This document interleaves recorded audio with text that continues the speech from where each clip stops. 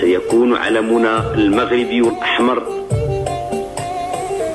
ذو النجمة الخضراء محفوفا أولا بعناية الله وألطافه وثانيا بأعلام أخرى من أشقائه دول العرب ودول إفريقيا. فسير شبي العزيز على بركة الله. تكلأك عنايته وتحف بك رعايته. وسدد الله أقدامك وخطاك. وإننا نحمد الله سبحانه وتعالى أن هدانا إلى صراطه المستقيم وجعلنا ننهج نهجه القويم راجين منه سبحانه وتعالى أن يديم عليها علينا نعمة الشكر نعمة الحمد والشكر حتى نحمده كثيرا ونشكره كثيرا فيعطينا كثيرا ويلبي دعواتنا كثيرا. إنه سميع مجيب وبالاستجابة جدير والسلام عليكم ورحمة الله تعالى وبركاته. جنة جنة جنة المغرب يا وطننا جنة. يا وطن يا أبو تراب. يا وطن يا أبو تراب.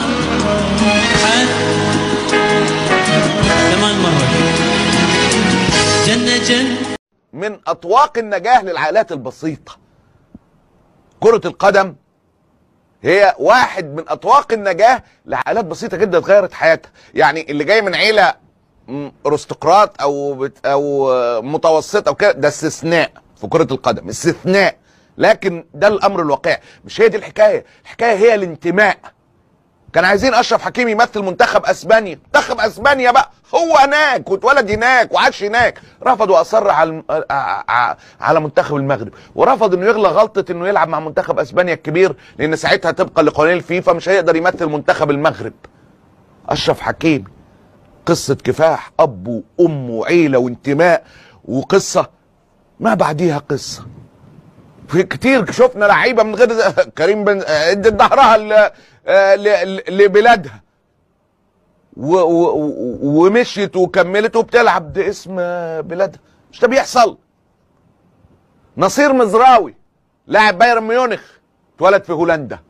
ويحمل الجنسية الهولندية.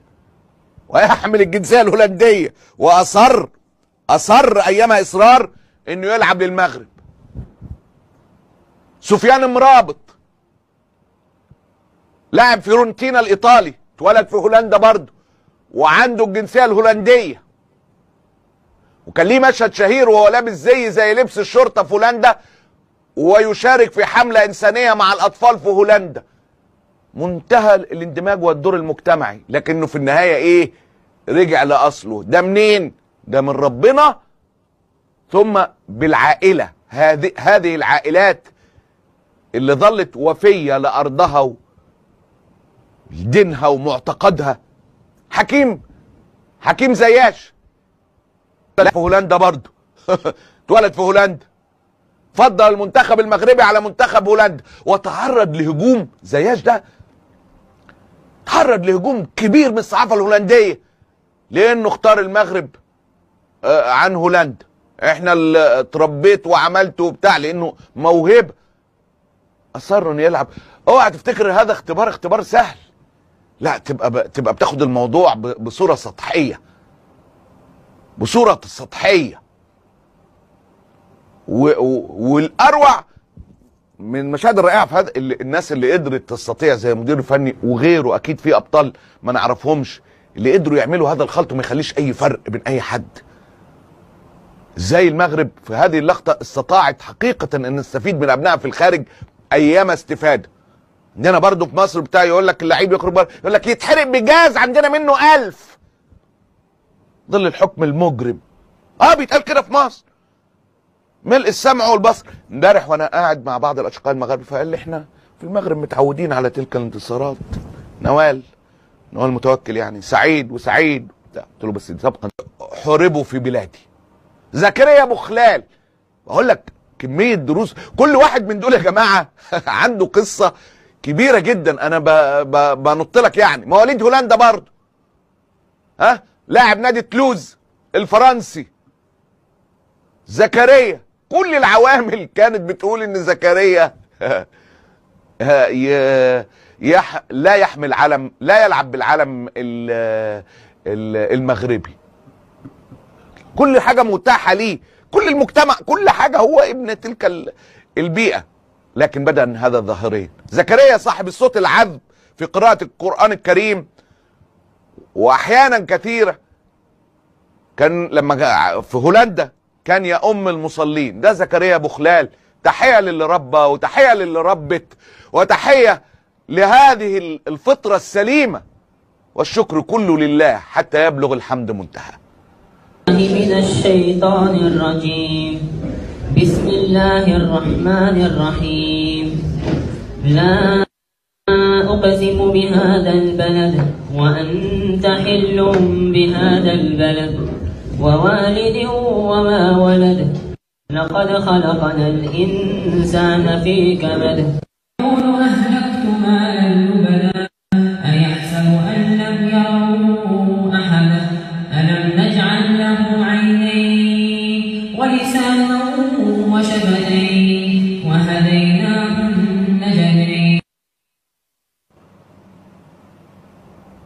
تحية تحية لزكريا. تحية للأب والأم اللي بألقي نظرة كده على بعض التعليقات على البث المباشر في اليوتيوب. انت عارف اللي عمل اللي عملته آه تلك الأهالي. هذه أهالي أكتر من 14 لاعب. اوعى عشان كده بقول لك ده مش موضوع بالسهل. في ناس انسلخت. ناس انسلخت من أرضها ومعتقداتها وحاجات كتيرة جدا ونماذج أنتوا حضراتكم عارفينهم مش بس في الكورة في كل حاجة. تشوف الواد ما تعرفش خالص تبقى مستغرب. لكن هي عندنا أعداد كبيرة جدا جدا جدا من الجيل الثاني والثالث نشأوا وترعرعوا خارج هذا الوطن. فزي ما في عيوب في مزايا. إنه كمان في سلبيات كتيرة عندنا في التربية وفي الحياة واسلوب الحكم اللي هو السلطوي وزرع الخوف والرعب. ينعم عليهم ويمن بالفطرة السليمة بيكونوا حاجة كبيرة يا جماعة. حاجة كبيرة قادرة على تغيير الأوطان. كرة القدم هنا مثال بس عشان كده بقول لك الحكاية أكبر من مباراة كرة القدم، الفرحة والدروس أكبر من هذا الانتصار وهو انتصار لوحده في كرة القدم شيء كبير جدا جدا. هذا كأس العالم عربي مغاربة بفضل الله خلوك تحلم هذا الحلم لكن يبقى الموضوع أكبر من كرة القدم. سليم ملاح اتولد في بلجيكا سليم ملاح بيلعب الستاندر ليج الدوري البلجيكي. ها؟ إلياس شاعر مواليد بلجيكا ويلعب في كوينز بارك رينجرز الإنجليزي. كل دول اختاروا الوطن. أنس مواليد بلجيكا ولاعب نادي بيرنلي الإنجليزي. أنس. لعب مع المنتخب البلجيكي تحت 19 سنة وجاب معاهم 8 أهداف. فاهم يعني إيه؟ فاهم يعني إيه 8 أهداف؟ جاب معاهم 8 أهداف؟ ده يعني إيه؟ كانوا ماسكين فيه جدا لكنه فضل منتخب المغرب. ده أجيال التانية والتالتة أهي. بلال الخنوس. مواليد بلجيكا برضه عشان كده بلجيكا امبارح ما نامتش. بيلعب في نادي جينيك البلجيكي. ولعب لمنتخب بلجيكا تحت 15 و16 سنة. لكن لما جاءت لحظة الاختيار اختار المغرب. اختار البلد والعيلة والذكريات والطين الأم والوحدة. حسبها مع نفسه.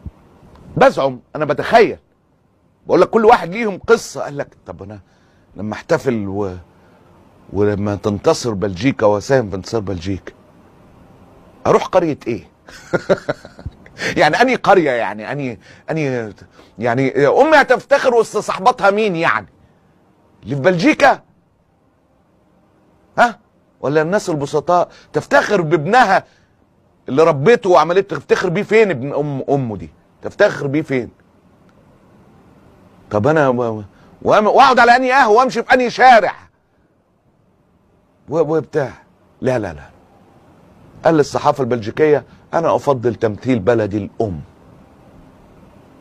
رومان سايس لاعب نادي بشكتاش تركي مواليد فرنسا. ها؟ فضل فضل المغرب. سفيان بوفال مواليد باريس لاعب نادي إنجيبا الفرنسي. فضل المغرب. وليد شديره مواليد إيطاليا مهاجم نادي باري الإيطالي.